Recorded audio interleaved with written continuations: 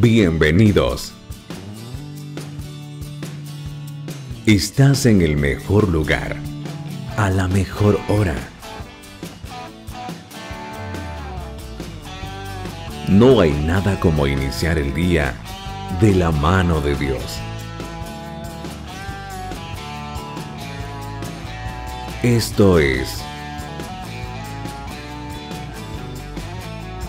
la oración de la mañana.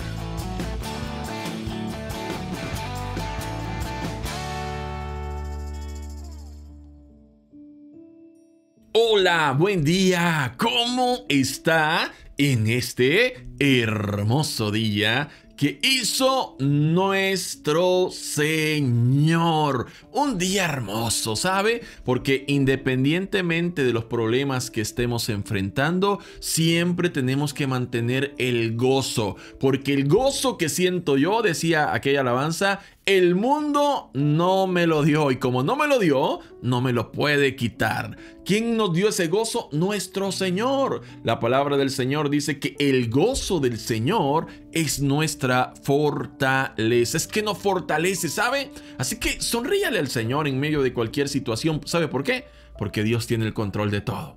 Y a su tiempo perfecto nos dará respuestas. Soy Enrique Monterrosa desde El Salvador y esto es la oración de la mañana. ¿Alguna vez usted se ha preguntado por qué hay cosas que suceden y no entendemos, verdad? ¿Por qué hay una persona que nació enferma? ¿Por qué hay situaciones que parecen injustas y que nosotros decimos, ¿por qué pasa esto? ¿Por qué está sucediendo esto? Pues bien, hay cosas que definitivamente no entendemos por más que nosotros le demos vuelta al asunto, ¿verdad? Pero hay cosas también que suceden porque Dios quiere mostrarse a nuestra vida. Yo quiero contarle el caso de un joven que había nacido ciego. Un joven ciego de nacimiento. Por lo general, en el antiguo tiempo, se creía que una persona que había nacido ciega o que había nacido con alguna enfermedad, eh, estaba así por el pecado de sus padres o porque algo habían hecho y como resultado había obtenido eso. De hecho, en nuestra cultura hispana también sucede, ¿verdad? o sucedía, no sé si todavía, cuando creemos que las cosas pasan porque algo malo tú hiciste. No, es que eso te pasó porque has de andar mal con Dios. No, es que esto te sucedió porque algún pecado cometieron. Y siempre estamos nosotros tratando de relacionar las situaciones eh, que no entendemos con el pecado, ¿verdad? con algo malo que se hizo. Y también los discípulos de nuestro Señor Jesús en momento determinado también pensaron lo mismo como usted y como yo. y Jesús trató de explicarles por qué a veces suceden cosas como esa. Y ahora yo le voy a invitar a que vayamos al Evangelio de Juan. Evangelio de Juan capítulo 9, voy a utilizar en esta ocasión la versión de la Biblia, traducción lenguaje actual. Juan capítulo 9, vamos a leer desde el versículo 1 para poder entender un poquito. Mire lo que dice. Cuando Jesús salió del templo, vio por el camino a un joven que había nacido ciego. Los discípulos le preguntaron a Jesús, Maestro, ¿quién tiene la culpa de que este joven haya nacido ciego? ¿Fue por algo malo que hizo él mismo o por algo malo que hicieron sus padres? Jesús les respondió. ¿Cuál fue la respuesta de Jesús? Ni él ni sus padres tienen la culpa. Oiga, ni él ni el muchacho, ¿cómo va a tener la culpa el muchacho si había nacido así? Ni el muchacho ni sus padres tienen la culpa.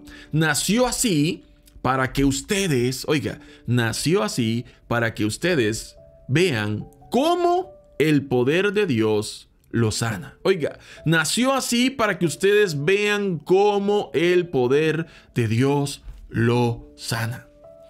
Cuando leo esto, por alguna razón relaciono los problemas que todos nosotros tenemos. El problema de este joven era que era ciego de nacimiento. Él se había acostumbrado a vivir de esa manera. Sin embargo, también nosotros a veces pareciera que nos acostumbramos a vivir con ciertos problemas que estamos padeciendo o que estamos enfrentando.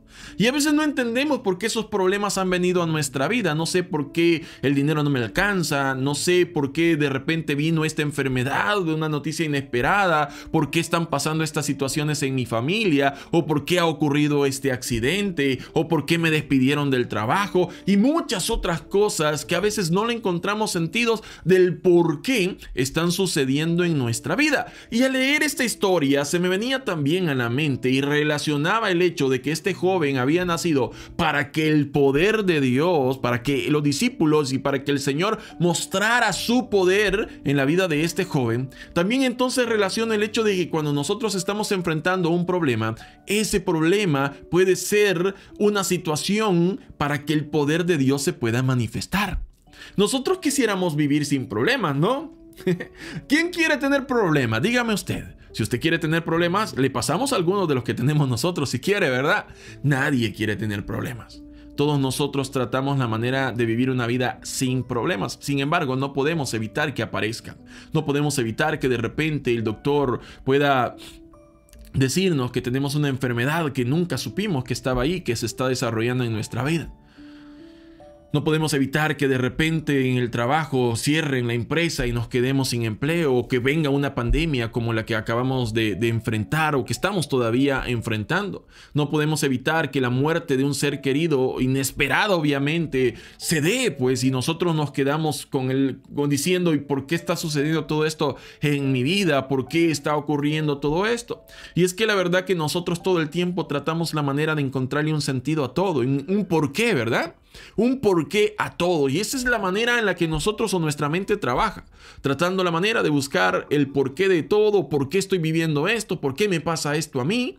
Y al no encontrar una respuesta, Mucha gente se desanima al no encontrar una respuesta del por qué está viviendo situaciones difíciles. La gente, lejos de acercarse a Dios, comienzan a alejarse porque dicen, no, es que yo estando cerca de Dios me vinieron muchos problemas y no entiendo por qué Dios permite que vengan los problemas. Pues déjeme decirle que aunque usted no esté cerca del Señor, los problemas siempre van a aparecer problemas no podemos evitar que vengan a nuestra vida. Pero qué lindo es poder enfrentar los problemas de la vida junto con nuestro Señor.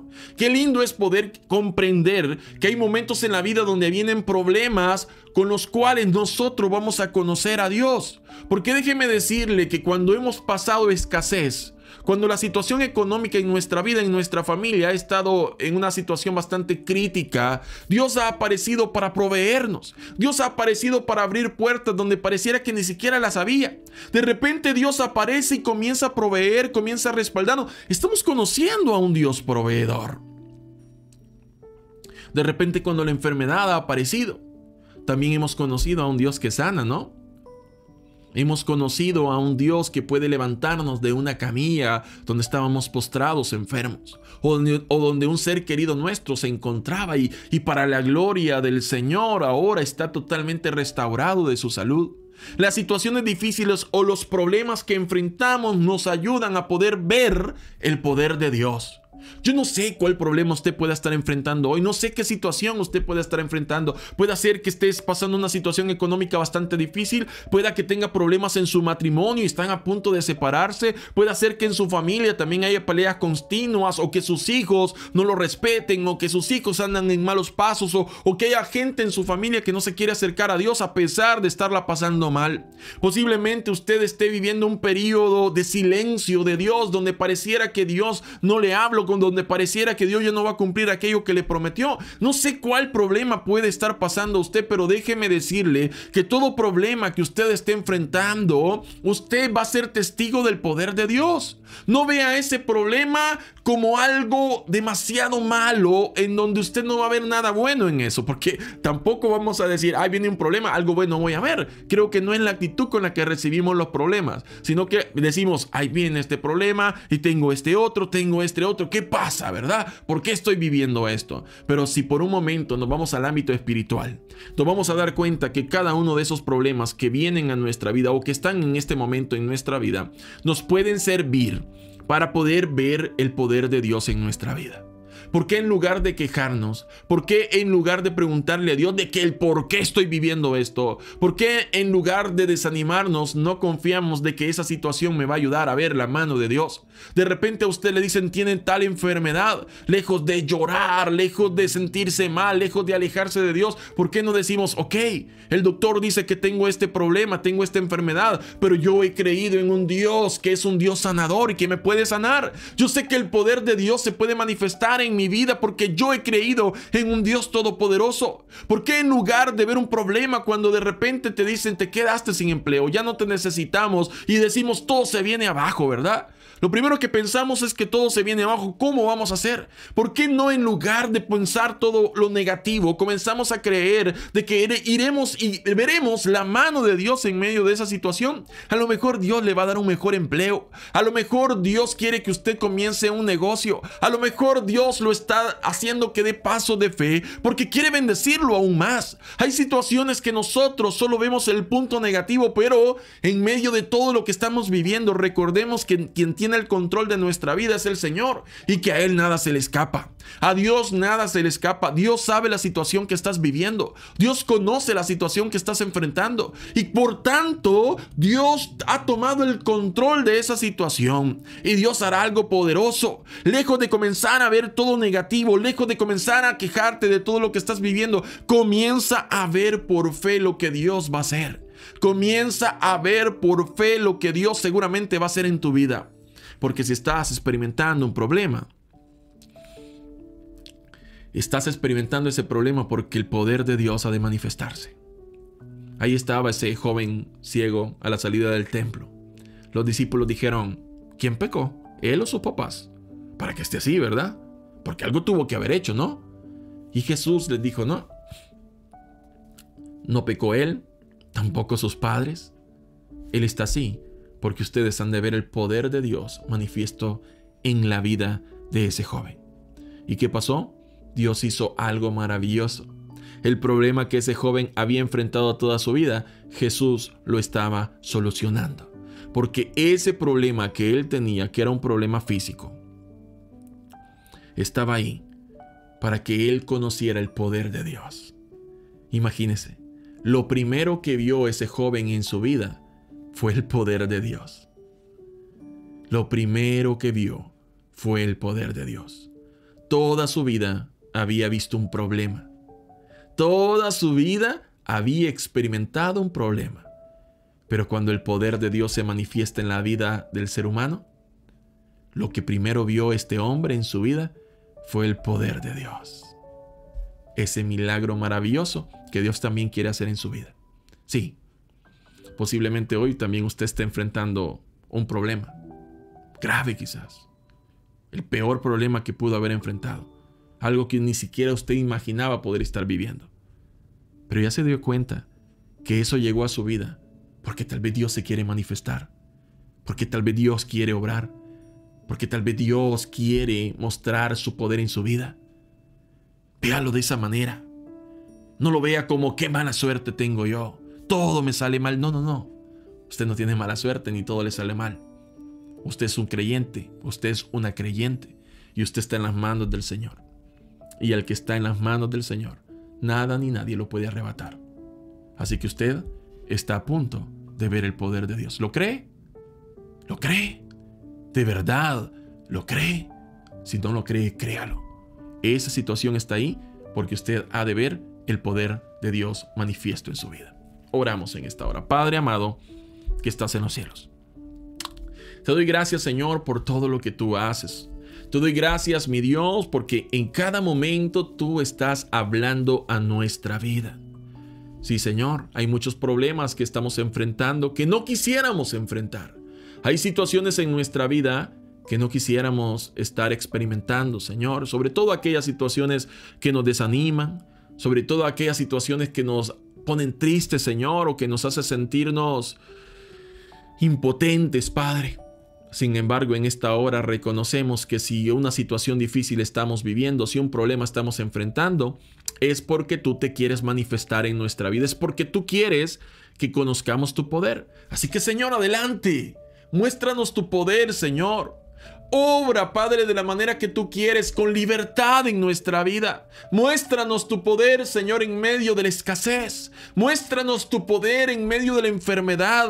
Muéstranos tu poder en medio de los problemas familiares, en medio de los problemas laborales, en medio de los problemas de salud. Muéstranos tu poder, oh Señor. Obra con libertad en medio de la vida de cada una de las personas que hoy están escuchando este mensaje. Tú, Señor, que conoces cada problema que ellos están enfrentando tú que conoces cada obstáculo que se ha puesto frente a ellos, que seas tú manifestándote, Señor, en la vida de cada uno de ellos y mostrando tu poder, dando soluciones, Señor, dando soluciones a esos problemas, que aquel que estaba enfermo hoy vea tu poder y sea sano, Señor, en el nombre de Jesús, que aquella persona que se sentía débil, desanimada, hoy sea fortalecida y experimente tu poder, oh Señor, que aquellos que estaban pasando problemas económicos, hoy reciban problemas visión Señor, de parte tuya, en el nombre de Jesús, y vean tu poder, que vean tu poder en medio de esos problemas. Te lo pido en el nombre de Jesús.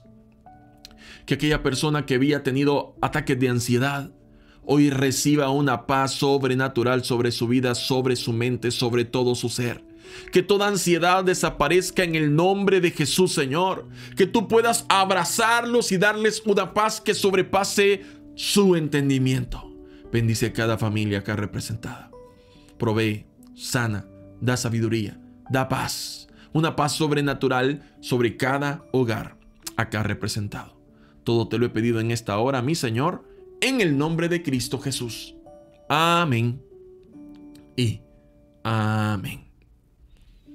Esa situación que está viviendo solamente servirá para que usted vea el poder de Dios, para que usted conozca a Dios de una forma más personal. ¿Lo cree? Créalo. Créalo porque Dios honrará su fe. Soy Enrique Monterrosa desde El Salvador y esto ha sido la oración de la mañana. Que Dios bendiga tu vida y que Dios bendiga la vida de los tuyos. ¿Fue de bendición para tu vida este video? Entonces, coméntanos tu experiencia, dale me gusta y comparte este video con tus amigos. No te vayas sin suscribirte al canal y activar la campanita para enterarte de cuando subimos nuevos videos. Que Dios derrame muchas bendiciones sobre tu vida y sobre los tuyos. Saludos desde El Salvador.